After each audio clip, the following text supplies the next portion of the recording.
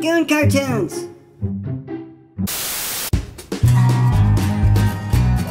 Hey guys, it's Buck, and well, I was fishing in the lake, and a bald eagle came and swooped down right on me, right, like right below me, like right on my head with his claws out, and I had to shoo it away with my paddle. Get the fuck out of here, you motherfuckers! Stay fucking in the air!